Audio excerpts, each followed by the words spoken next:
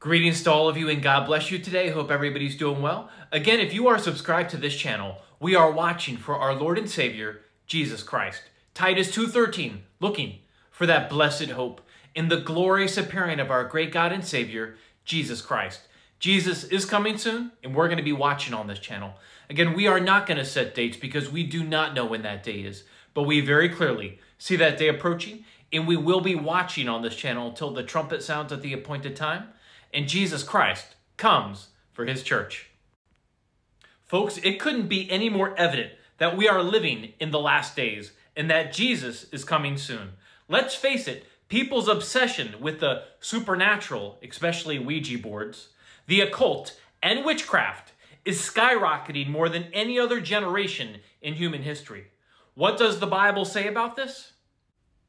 The Bible has a lot to say about witchcraft. Witchcraft and its many cousins, such as fortune telling and necromancy, are Satan's counterfeits to holy spirituality. The Bible expressly condemns all forms of witchcraft.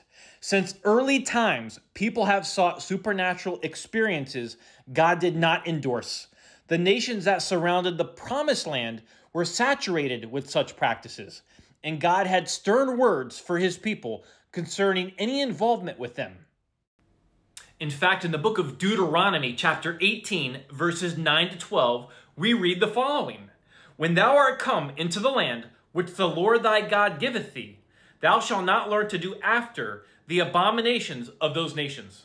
There shall not be found among you any one that maketh his son or his daughter to pass through the fire, or that useth divination, or an observer of times, or an enchanter, or a witch or a charmer, or a consulter with familiar spirits, or a wizard, or a necromancer.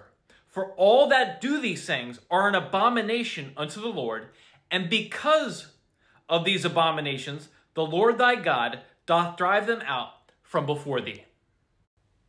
God takes witchcraft very seriously. The penalty for practicing witchcraft under the Mosaic law was death.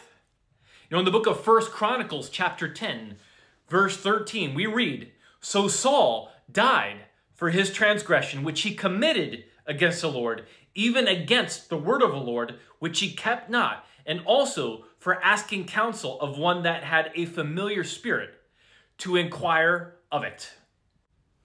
In the New Testament, sorcery is translated from the Greek word pharmakeia, from which we get our word pharmacy. In Revelation chapter 18, verse 23, in context here, this is during the coming tribulation period, which we are not in yet. However, in Revelation chapter 18, verse 23, we read the following And the light of a candle shall shine no more at all in thee, and the voice of the bridegroom and of the bride shall be heard no more at all in thee. For thy merchants were the great men of the earth, for by thy sorceries were all nations deceived. Now, the deception is bad right now. People's obsession with the occult, with witchcraft, with the supernatural, with all that stuff is skyrocketing right now. But we're told here very clearly in Revelation chapter 18, verse 23 For by thy sorceries, pharmakeia, were all nations deceived. It's going to get a whole lot worse. Witchcraft and spiritism often involve the ritualistic use of magic potions and mind controlling drugs. Using illicit drugs can open ourselves to the invasion of demonic spirits. Engaging in a practice or taking a substance to achieve an altered state of consciousness is a form of witchcraft. I also want you to go to the book of Revelation, chapter 9, verses 20 to 21, again in context, this is during the coming tribulation period, which we are not in yet. Revelation chapter 9, verse 20 to 21, we read the following And the rest of the men which were not killed by these plagues, yet repented not of the works of their hands, that they should not worship devils and idols of gold, and silver, and brass, and stone, and of wood, which neither can see, nor hear, nor walk. Listen to this part. Neither repented they of their murders, nor of their sorceries, pharmakeia, nor of their fornication, nor of their thefts.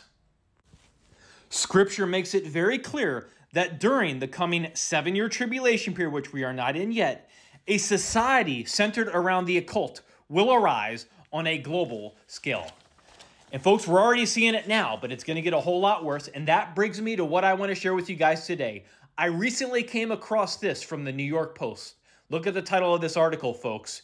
UK for United Kingdom, United Kingdom University to offer postgraduate degree in witchcraft and the occult. Let me read some of this to you guys. There is no sorting hat, wands, or flying broomsticks, but magical mysteries still await. A university in the United Kingdom will be offering the country's first ever postgraduate degree in magic and occult science, according to a report.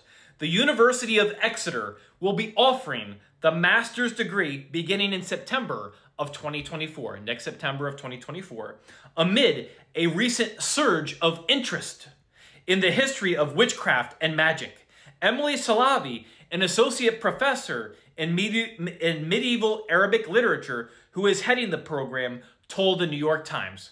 The course will explore magic's influence on society and science through the lens of Jewish, Christian, and Islamic traditions, the Times reported. While students won't attend defense, defense against the dark arts and potions classes, the program offers unique courses such as a study of dragons in Western culture, literature, and art, and the depiction of women and witches in the Middle Ages. Listen to this part, folks. Salabi said she's already been contacted by hundreds of prospective witches and wizards who are interested in the opportunity to explore such topics across academic fields.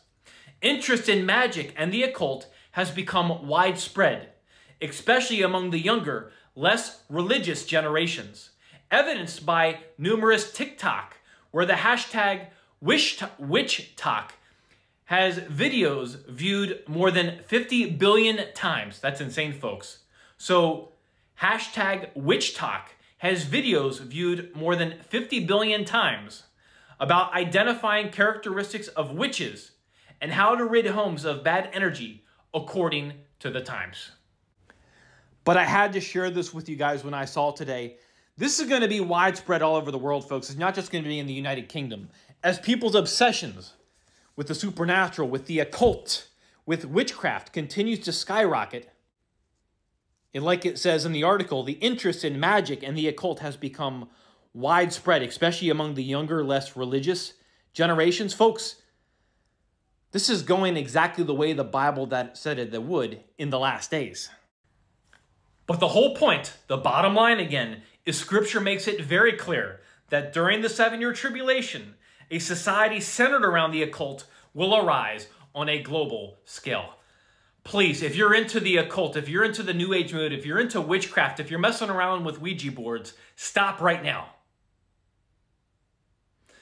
This is very bad. This is very bad. It's satanic. It's demonic. You need to stop right now and you need to turn to the one truth, the only truth, which is the Lord Jesus Christ. And you need to do it right now because time is running out. You are dabbling with and inviting through demons. You need to stop right now. All I can tell you, if you're watching this video right now and you're into this stuff, just go look at the thousands, thousands upon thousands of testimonies out there of people that were into the occult, into witchcraft, and how they were saved and turned to the Lord Jesus Christ. And that was the best decision they ever made. Please, if you're someone that has that testimony, I've seen so many out there, please put it in the description box below in the comments.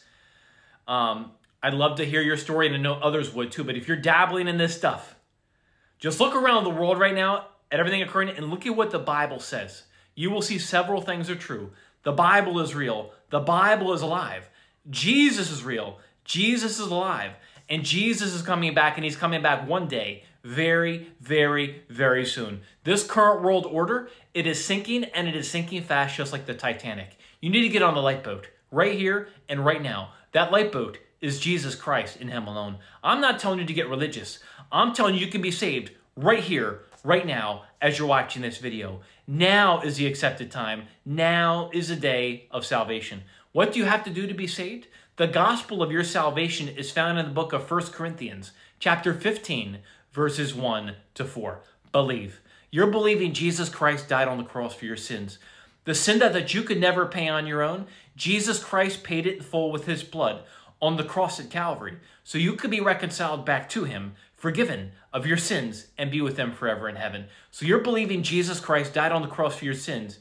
He was buried and he rose again. He resurrected on the third day as it is written in the scriptures. That's the gospel of your salvation. If you're still confused, here's the bottom line. Every single one of us is a sinner. We all miss the mark. We all fall short of the glory of God, and our sin separates us from a holy, a just, and a perfect God. But God loves you so much that he would come down, he would be born of a virgin, he became flesh, he dwelt among us, he was brutally tortured and crucified, and shed his precious blood for you on that cross at Calvary. Again, the sin that, that you could never pay on your own, Jesus Christ paid it in full with his blood on the cross so you could be reconciled back to him, forgiven of your sins, and be with him forever in heaven. That is love, my friends. That is love.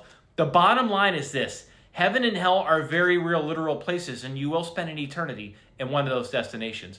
Hell's a real place eternal torment, eternal separation from God.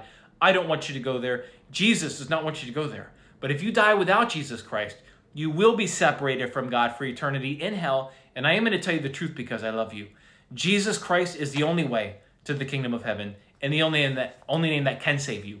In John chapter 14, verse 6, we read, Jesus saith unto him, I am the way, the truth, and the life. No man cometh unto the Father but by me. In Acts chapter 4, verse 12, we read, Neither is there salvation in any other, for there is none other name under heaven given among men whereby we must be saved. In 1 Timothy 2 5, we read, For there is one God and one mediator between God and men, the man Christ Jesus. So witchcraft is not going to save you. Buddha is not going to save you. Allah is not going to save you. The occult is not going to save you. Religion is not going to save you. Dead saints are not going to save you. The Virgin Mary is not going to save you. Your own works, you trying to earn your way there, that is not going to save you. There is only one way to the kingdom of heaven and one name that can save you, and that is Jesus Christ in Him alone. I am begging you, I am imploring you to turn from witchcraft, to turn from the occult, to the one that can save your soul to be with him in eternity in heaven forever. And that name is Jesus Christ. So put your faith and your trust in the blood of Jesus right now. Believe he died for you. He was buried and he rose again. He resurrected on the third day as it is written in the scriptures and do it now. Tomorrow is not promised. And make no mistake about it. Jesus is coming and he's coming one day. Very, very, very soon. Keep looking up. Keep watching with me and God bless you all.